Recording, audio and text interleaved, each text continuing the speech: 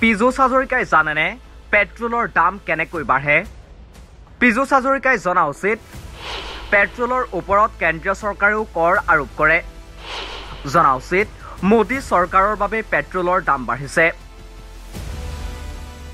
পীযুষ হাজৰিকাই ফেচবুকত লিখিছে পেট্ৰলৰ দাম কৰ্ণাটকত এশ সোতৰ টকা আৰু কেৰালাত এশ আঠ টকা।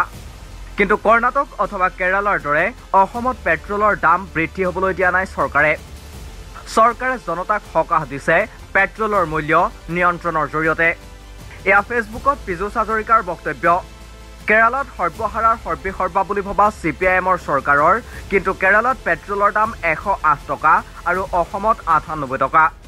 মোৰ আগৰ পোষ্ট দেখি কেৰালাৰ সাধাৰণ ব্যক্তি এজনে এই শ্লিপ পঠাই সুধিছে কেৰালাত অসমৰ দৰে পেট্ৰলৰ দাম এশৰ তলত কিয় হ'ব নোৱাৰে? চেল পেট্ৰলৰ নামতে হওক বা সাধাৰণ পেট্ৰলৰ নামতে হওক আমি অসমত পেট্ৰলৰ দাম এশ সোতৰ বা এশ আঠ টকা হ'বলৈ দিয়া নাই। ভৱিষ্যতেও সহজে নিদিওঁ। পেট্ৰলৰ অত্যাধিক মূল্যৰ বাবে পীযুষ হাজৰিকাই সমালোচনা কৰিছে অবিজেপি শাসিত ৰাজ্য দুখনক। কিন্তু মন্ত্ৰী পীযুষ হাজৰিকাই জানেনে পেট্ৰলৰ দাম কেনেকৈ বাঢ়ে? খাৰুৱা তেলৰ পৰা পেট্ৰল প্ৰস্তুত হোৱালৈ মাজৰ প্ৰক্ৰিয়াটোত বহুখিনি ব্যয় থাকে। খাৰুৱা তেল ক্ৰয়ৰ পৰা ডিপু গৈ পোৱা পৰ্যন্ত সংশোধন ব্যয় পৰিবহণ ব্যয় আৰু ডিপুৰ কমিশ্যনলৈকে হোৱা ব্যয়খিনিক কোৱা হয় পেট্ৰলৰ বুনিয়াদী মূল্য। পেট্ৰলিয়াম প্লেনিং এণ্ড এনালাইচিছ চেলৰ তথ্য অনুসৰি দুহেজাৰ চৈধ্য চনত প্ৰতি লিটাৰ পেট্ৰলৰ বুনিয়াদী মূল্য অৰ্থাৎ খাৰুৱা তেল ক্ৰয়ৰ পৰা সংশোধন কৰি পেট্ৰলত পৰিণত কৰালৈকে সৰ্বমুঠ মূল্য আছিল সাতচল্লিছ দশমিক এক দুই টকা। কিন্তু দুহেজাৰ একৈছ চনত এই বুনিয়াদী মূল্য হ্ৰাস হ'ল একচল্লিছ টকালৈ। আনহাতে বুনিয়াদী ব্যয়ৰ মূল্যৰ উপৰিও পেট্ৰলজাত সামগ্ৰীৰ ওপৰত আৰোপ কৰা হয় দুই প্ৰকাৰৰ কৰ ইয়াৰ ভিতৰত ৰাজ্য চৰকাৰে আৰোপ কৰে ভেট আৰু কেন্দ্ৰীয় চৰকাৰে আৰোপ কৰে আবকাৰী শুল্ক। বৰ্তমান সময়ত কেন্দ্ৰীয় চৰকাৰৰ আবকাৰী শুল্ক ঊনৈছ টকা নব্বৈ পইচা।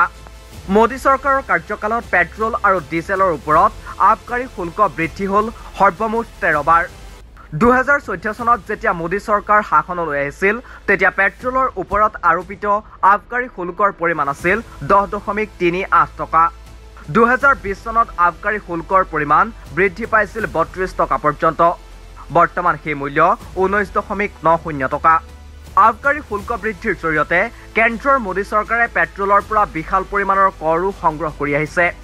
কেন্দ্ৰীয় চৰকাৰে শেহতীয়াকৈ লোকসভাত দাঙি ধৰা তথ্য অনুসৰি দুহেজাৰ চৈধ্য পোন্ধৰ বৰ্ষত মোদী চৰকাৰে পেট্ৰলৰ পৰা সংগ্ৰহ কৰিছিল ঊনত্ৰিছ হাজাৰ দুশ ঊনাশী কোটি টকাৰ আবকাৰী শুল্ক। কিন্তু দুহেজাৰ বিছ চনৰ এপ্ৰিল মাহৰ পৰা দুহেজাৰ একৈছ চনৰ জানুৱাৰী মাহৰ ভিতৰতেই ভাৰত চৰকাৰে আবকাৰী শুল্ক সংগ্ৰহ কৰিলে ঊনানব্বৈ হাজাৰ পাঁচশ পঁয়সত্তৰ কোটি টকাৰ। মন্ত্ৰী পীযুষ হাজৰিকায়ো জনা উচিত দুহেজাৰ চৈধ্য চনত প্ৰতি বেৰেল খাৰুৱা তেলৰ মূল্য আছিল এশ সাত ডলাৰ। তেতিয়া প্ৰতি লিটাৰ পেট্ৰলৰ দাম আছিল এসত্তৰ টকা। দুহেজাৰ তেইছ চনত প্ৰতি বেৰেল খাৰুৱা তেলৰ দাম নামিল পঁয়ষষ্ঠি ডলাৰলৈ। অথচ অসমত এতিয়া পেট্ৰলৰ দাম আঠানব্বৈ টকা। প্ৰশ্ন এটাই বৰ্ধিত আবকাৰী শুল্কৰ বাবে মন্ত্ৰী পীযুষ হাজৰিকাই কেন্দ্ৰৰ মোদী চৰকাৰকো সমালোচনা কৰিবনে? News desk report The Cross Current.